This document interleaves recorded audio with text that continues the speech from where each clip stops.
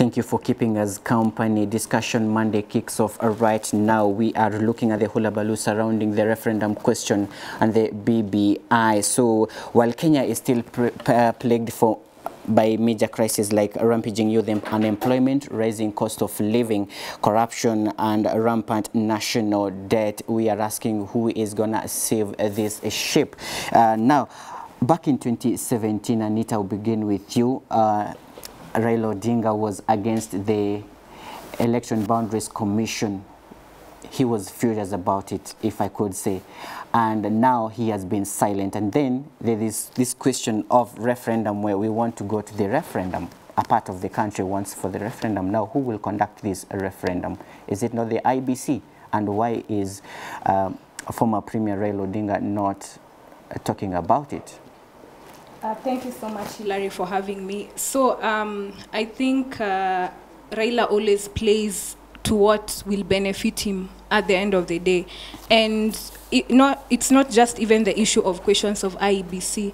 As you saw when the Embrace team went to Kisumu, issues were like, we have uh, Baby Pendo, we have uh, Chris Msando's wife is still asking when will justice uh, come forward. As to the question of the referendum, at this point in time, I believe it's inevitable.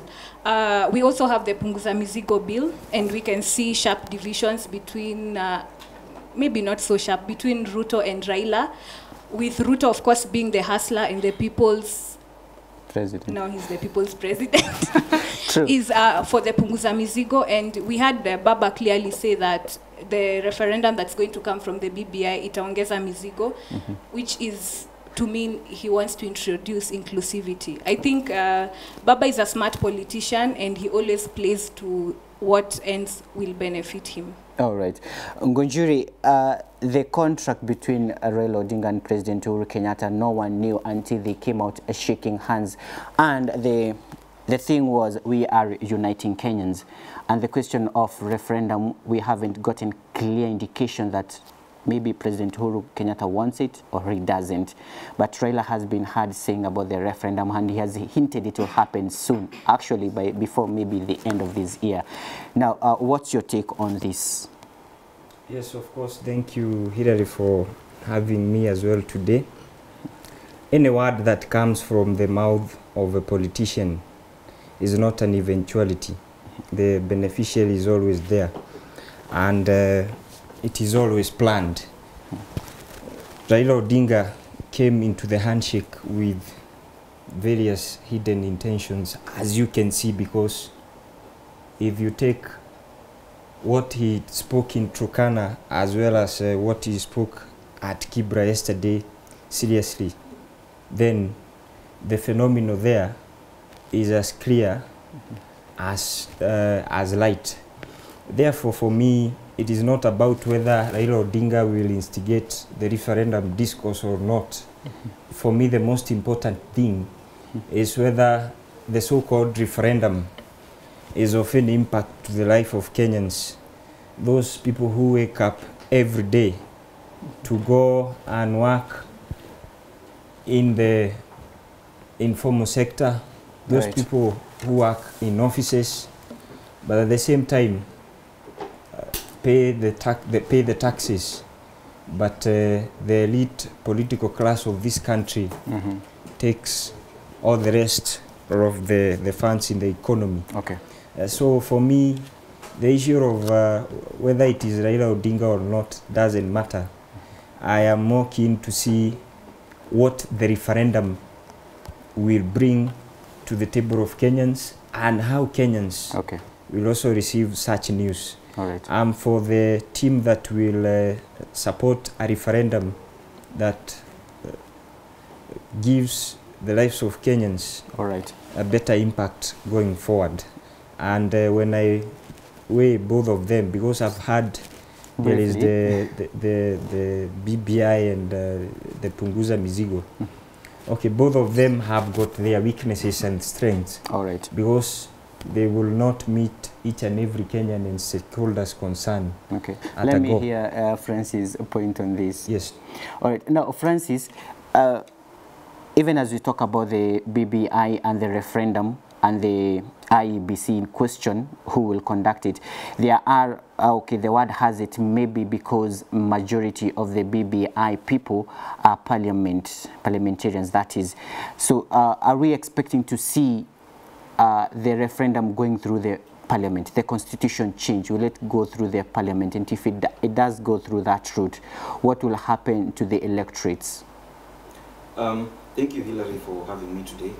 Well, it's an option that the BBI team has because then we know our constitution, it allows us space either to change, um, to go to a referendum or either to change the constitution through the parliament. So it's an option that, of course, uh, the people pushing the BBI agenda have.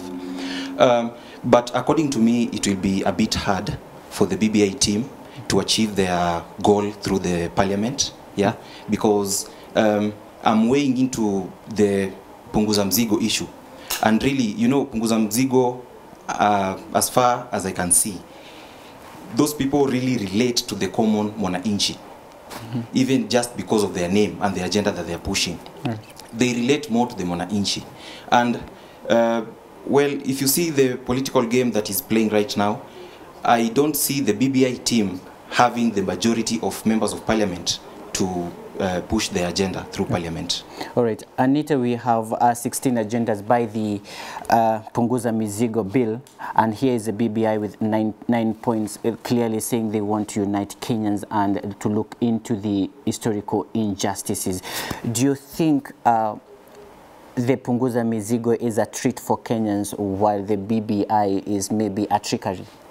Yes, I fully support that, Hillary, because the injustices, the lack of inclusivity, divisive elections, the nine point agenda by BBI is a narrative that we've had since, since we got independence. And uh, we've had the Truth, Reconciliation and Justice Commission, we've had the Waki report, we've had, we've had all this. In fact, the Constitution was supposed to remedy, that's why we have devolution today. The Constitution was supposed to, which is also another part of the nine point agenda.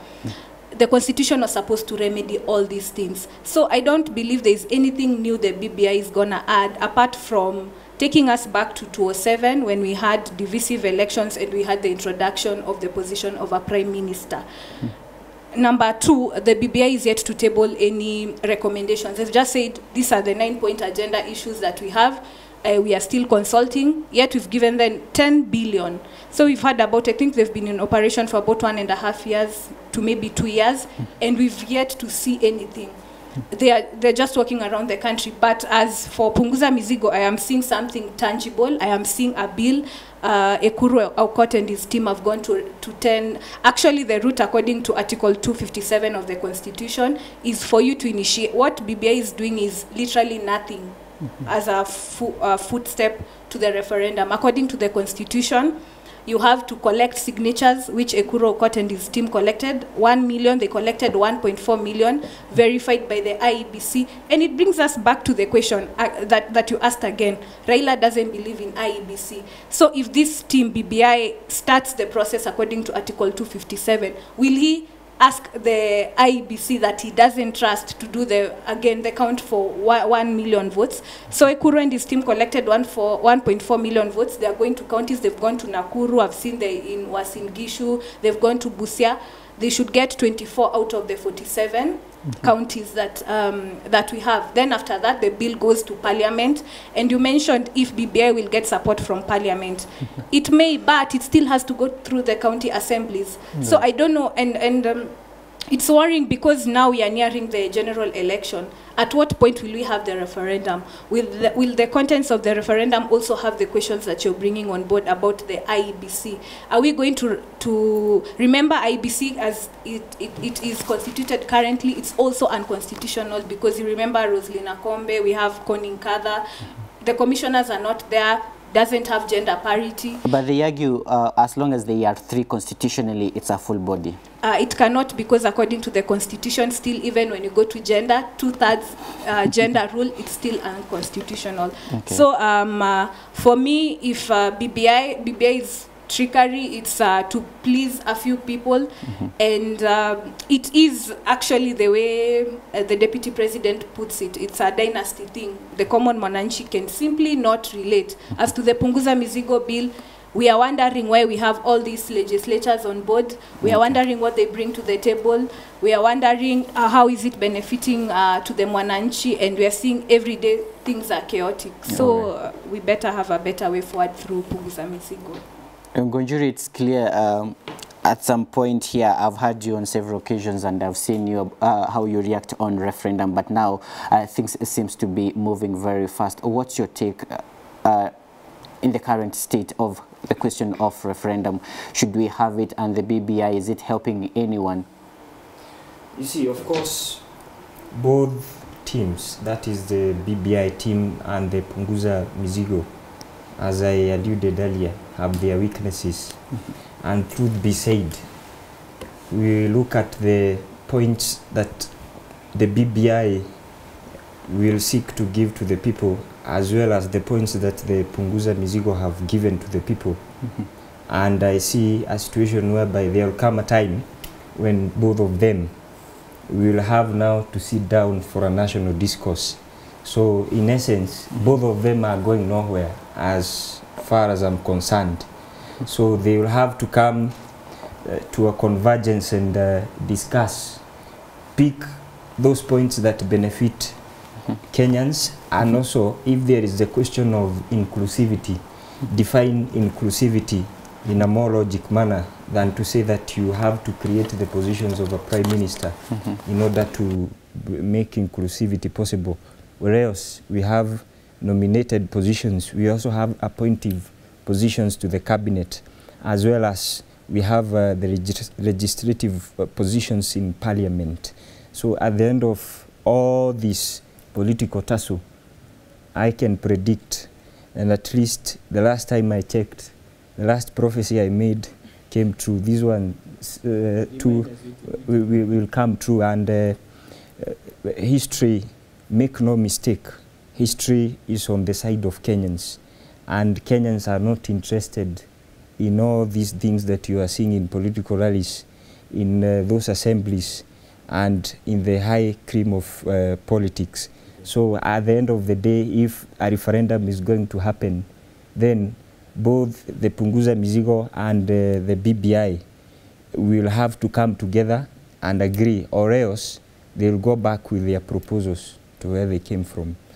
But at least um, from the president's side, he was very honest. Uh, the reasons, he gave his reasons as to why he brought this country together.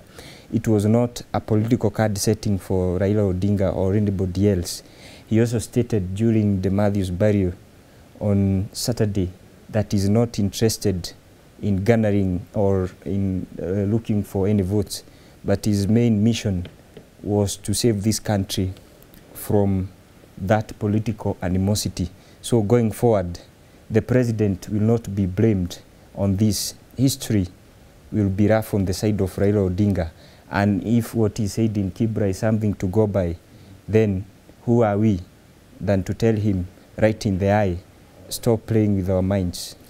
Yes. No, the difference is most of the politicians feel like a referendum will unite Kenyans, maybe because of the handshake or something else. But do you agree with them? Um, it's unfortunate that Kenyans we sit there and let politicians decide our future. Well, right now, it's unfortunate again that it's the politicians who are running the referendum agenda. Hey, this constitution is ours as Kenyans.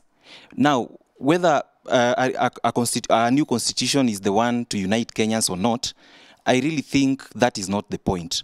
If Kenyans really wanted to unite, yeah, it's it's up to us to leave our bad manners in terms of um, violating the constitution the way it is, yeah. Because you can remember in 2010, we were so happy at Uhuru Park, yeah. Uh, we were so happy inaugurating this constitution that we have. Well, it's less than 10 years into it. We already want to change it. What guarantee do we have that if someone gets a prime minister seat and this other one gets a deputy prime minister, then that is the definition of inclusivity. I think really referendum is not the answer to the problems that we're facing as Kenyans in terms of ethnic division and all that. All right. Uh, Just to add something, and uh, very important, the people of Kenya should uh, work very hard to put democracy on a firmer footing by uh, pursuing the concession of defeat by elections losers, even in the wake of closely contested elections. The problem is not our constitution when we speak about matters of inclusivity. Okay. The problem has been that certain candidates get into elections with the mentality that they have to win. Okay. And if they lose, then that election is rigged. Therefore, going forward, and uh, I wonder why Kenyans also give these people space to exploit their minds and reasoning. We gave ourselves a constitution that was supposed to guide us, and going forward, we have what we have seen as challenges in the constitution. Okay. Is it really the creation of positions, or or something it is else. affirming mm -hmm. the the freedoms that are enshrined in the constitution mm -hmm. and the social contract as well as making sure that public policy is working on, on, on the side of Kenyans. Mm. All right. And now, uh, as, as we wind up, Anita, I want to uh, maybe finish with you on this. Uh, while Kenyans may never or will never understand what went on in the Harambe House until they saw the handshake and what we Kenyans we were told uh, about the uniting Kenyans. Now, uh, do you think if we would have a referendum today, would legitimize the closed meeting uh, President Uhuru Kenyatta had with Raila Odinga? Um, to be honest, the meeting between uh, a president and an opposition leader, I don't see anything to legitimize about. For me, it's uh, simply a meeting, and in the words of my mentor, it was more of a handshake and check. Uh, miguna miguna that is so uh, from where i stand i believe actually unfortunately the referendum is inevitable. But if i were to have it my way the 2010 constitution is perfect as it is. The problem has been the implementation. The problem has been governance. The problem has been politics. Because if you look at for example simple matters like uh, chapter 6 of the constitution on uh, leadership uh, ethics and integrity if this were implemented the dpp the EACC would have some footing. But uh, as it is we are just seeing the showdowns. Today our governor especially waititu is arrested today. Uh, he's given a court order. He's saying he can operate his office anywhere he wants. I mean things of this nature. Yet the co- i mean what more can we add to the constitution to if, if anything for me i believe let's strengthen the implementation. Let's um, push the judiciary more. For example by setting the precedent if you're arrested today on cases of corruption within 21 days you're you're, you're tried and and you do not operate in your office. But at it, uh, saying that uh, i mean not every issue is a matter of legality sometimes we need to operate as you said under the social contract where we believe the government should do its its part and me as a taxpayer francis as a taxpayer ngojiri as a taxpayer gets value for his money Exactly. so uh, for me uh, the consti- 2010 constitution is perfect All right, very fast, uh, Francis, your final words. Less than 30 seconds, please. Uh, thank you. Um, mine is just to ask Kenyans and especially the young people. Let's scrutinize each and everything that politicians bring our way. This is our country. Let's not inherit a country that is divided because of few politicians. Okay. Gonjeri, final words. Briefly. Yes, I, I'll just uh, state something that was stated in uh, the 20th century, of course, by the most virtuous wartime leader then, Winston Churchill, that let it be in the long years to come, not only the people of this country, but citizens of the world. Wherever the bird of prosperity chaps in human hearts, look back to what we've done and they will say, Do not yield, do not despair. Let us all march straight forward with courage as brothers and sisters under the sun. Thank you. Anita, I wanted to conclude without you, but I saw you react. What's your final, final words on this? Uh, no, I was just shocked he's qu- quoting uh, Winston Churchill and we have Miguna, but it's okay, Ngonjiri. I'll, I'll, I'll, I'll introduce you to him. Thank you. All right, all right, ladies and gentlemen, many thanks for coming and sharing your comments and your opinions in regards to these. Uh, they have been my guest of Francis Oyendo, uh, Ngonjuri Karaoke and Anita Nkirote. Coming up next is Why Mashariki. I'm sure you'll be mm, very much entertained. Please uh, stay tuned. I'll be I'll be seeing you again on Monday next week. Until then, have yourself a good night. My name is Dereva Hillary.